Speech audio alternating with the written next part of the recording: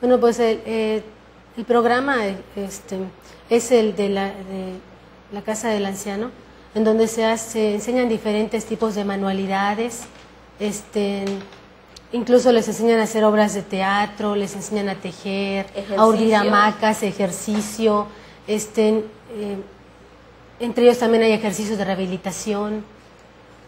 Bueno, pues vamos a empezar a leer los mensajes que nos están llegando. Dice, felicito al Canal 35 y a Silvia Peraza por su programa. Silvia, adelante, Pastora May. Dice, ¿van a contratar más personal? ¿Sienten que hay mucha gente o se dan abasto? Saludos, don Antonio Miranda.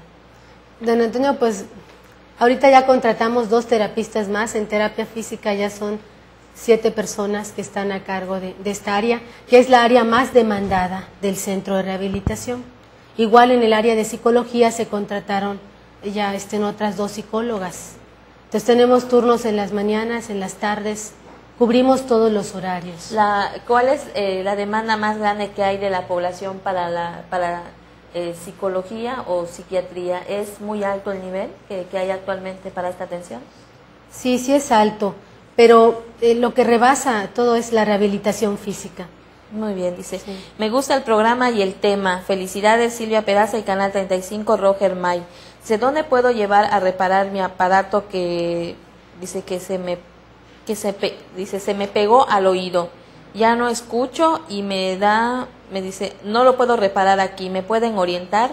Doña Alma Salinas. Claro que sí, señora. De hecho, puede acudir al centro. Nosotros tenemos este el material especial para poderle apoyar, hacerle si podemos, con mucho gusto le podemos rehacer el aparato y si no, tenemos los contactos donde podemos canalizarla para que a un bajo costo usted pueda este, tener un aparato nuevo. ¿Es alto el índice de la población que requiere de aparatos auditivos en Cozumel? Sí, en la, de hecho la, la, campaña, en la última campaña que hizo el DIF sí fueron como 500 personas y por eso también nosotros tenemos el servicio del audiotoneurofoniatra, que es una especialidad que estudia los problemas eh, de la voz y del y problema auditivo. Y en relación a esto que dices de la audición, obviamente así como va pasando la edad, eh, la gente requiere lentes para poder leer, también obviamente va pasando el tiempo y la gente va perdiendo la audición, se llama presbiacusia. Entonces, obviamente, es cuando entra en juego también, o sea, no solamente es por una enfermedad, sino como que es un proceso de envejecimiento en donde se va perdiendo también la audición y se pueden utilizar ese tipo de aparatos. ¿Y, y esto es normal, se puede decir, en el proceso de envejecimiento o es por alguna actividad que uno realice que se deteriora más rápido?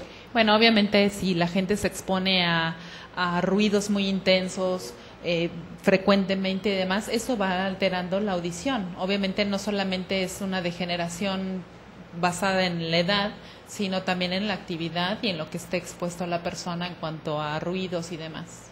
Bien, pues antes de despedir el programa, este, Lourdes, tú como terapista, no sé si quieras agregar algo en especial sobre este programa o sobre el área al que te dedicas. Pues recordarles que acudan a las pláticas que se van a celebrar, es muy importante, hay que tener en cuenta que son especialistas altamente calificados y que si uno acude a una plática, una conferencia, pues tienen un costo y aquí es completamente gratis, ¿no? Entonces, este, que no se olviden de acudir al Museo de la Isla el domingo a las 5 y el martes a las 5 igual. Es importante que, que vayan, ¿no? Porque pues es completamente gratis y es para prevención.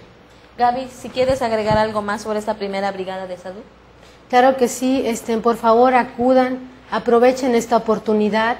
La idea es que estos, estamos empezando con esta brigada, estamos abriendo las puertas del estado de Quintana Roo a estos médicos y tenemos que aprovecharlos, ¿no? Ya que posteriormente la idea es que ellos regresen y ellos vienen de la Universidad de California y de hecho es una escuela de medicina donde ellos nos pueden este, continuar apoyando con otro tipo de problemas, ¿no? Vamos a hablar ahorita la, lo que realmente igual ahorita estamos trabajando para futuro es un problema de, de operaciones de prótesis, o sea, operaciones este, de, de ciencias ortopédicas, ¿En, que, ¿Para todas las edades va a ser? Para todas las edades, así es. Muy bien, doctora, ¿algo más que desea agregar? Pues creo que lo más importante es convocar a la mayoría de las personas, como comentaba ella, eh, obviamente es una brigada dirigida a las mujeres, pero yo creo que es muy importante que los hombres también se den a la tarea de aprender y pues que acudan a, tanto a las conferencias como a las consultas. Es un buen momento para prevenir y si hay alguna enfermedad, pues obviamente para actuar y que pues qué mejor que vengan especialistas a nuestra isla, aprovechemos el conocimiento que, que personas tienen de muchos años, de mucha lectura, de mucho estudio, que podamos aprovechar este tipo de, de momentos para realmente actuar. Bien, pues a mí no me resta más que decirle que pues no deje de asistir este domingo 14 al miércoles 17 de marzo precisamente a las oficinas del Centro de Rehabilitación de 8.30 a 5.30 de la tarde. Es importante que pues acuda usted para que cualquier síntoma ahí raro que haya sentido y no haya podido usted ir al médico, pues acuda, es de manera gratuita y con los mejores especialistas que en su ramo. Y bien, pues eh, le espero el martes en punto de las 9 de la noche aquí en su programa Rompecabezas Político. Gracias por habernos acompañado, por haber estado aquí. A ti, Silvia. Nos vemos el martes.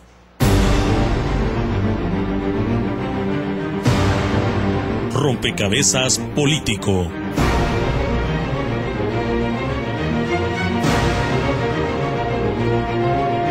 Un diálogo con la gente, con los políticos y las autoridades electorales. Usted es parte de este programa.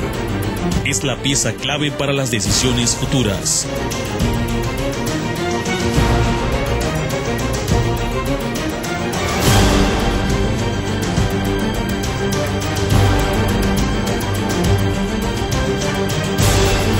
Rompecabezas Político.